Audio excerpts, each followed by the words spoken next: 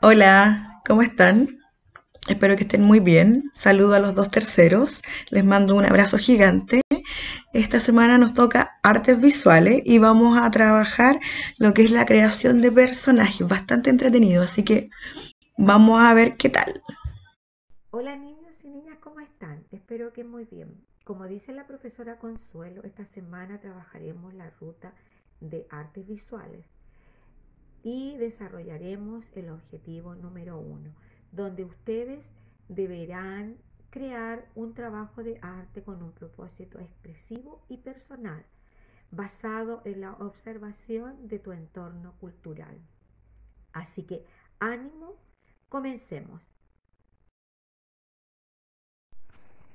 Como tú ya reconoces los textos narrativos y su estructura, tomaremos uno de sus elementos, los personajes. Recuerda que estos llevan a cabo las acciones contadas por el narrador y según su función pueden ser los principales, aquel o aquellos que destacan sobre los demás. También tenemos los secundarios, aquellos cuya importancia es menor, aunque a veces adquieren relevancia en algún episodio y nos ayudan a conocer mejor a los personajes principales o son importantes para que la acción avance. Para profundizar aún más sobre los personajes, te invito a observar y escuchar con detención el siguiente video. Narrar o escribir textos narrativos no es tarea sencilla, puesto que debemos tener en cuenta varias características de la narración, de las cuales hablamos en otro video. Te invitamos a clicar en esta tarjeta para verlo. Una de esas características son los personajes. Pero, ¿qué es un personaje? Los personajes son quienes realizan las acciones dentro de una narración. Pueden ser reales como las personas o ficticios como los que aparecen en cuentos maravillosos o leyendas, etc.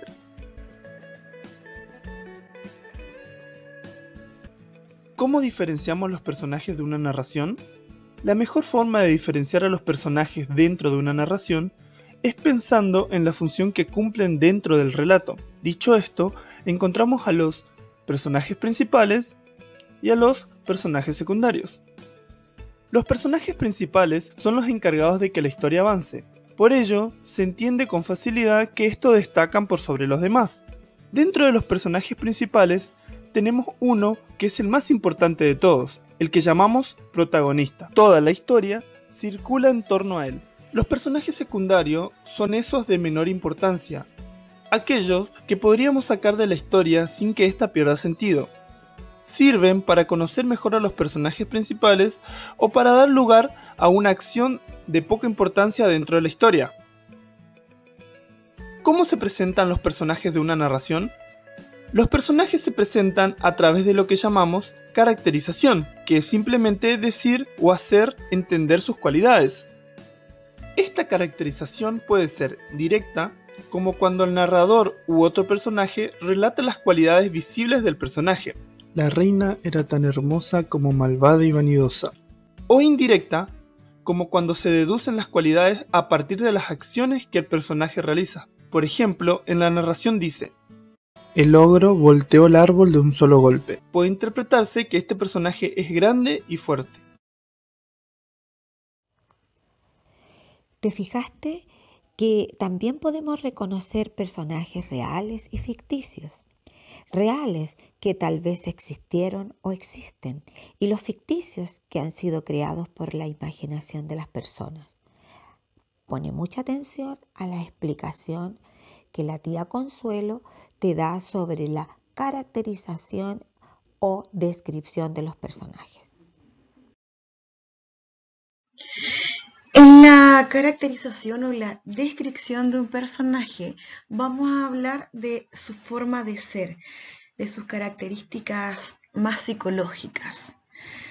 Por ejemplo, vamos a utilizar a la conocida Bella y la Bestia, que es una película, cierto, muy conocida de Disney.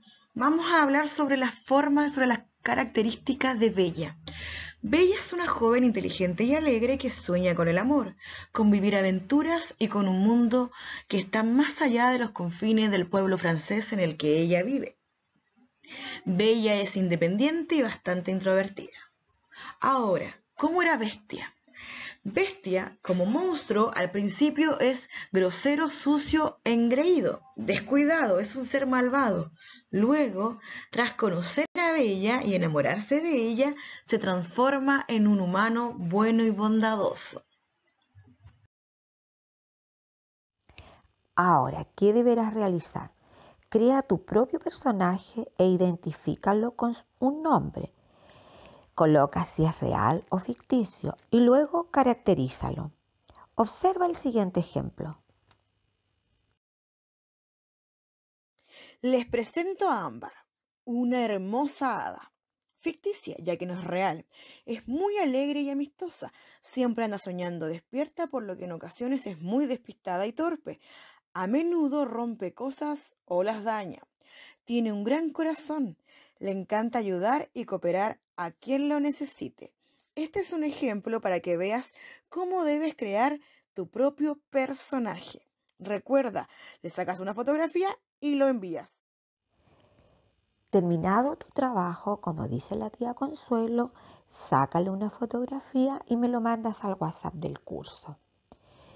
bueno, me despido, que esté muy bien, besitos, nos estamos comunicando.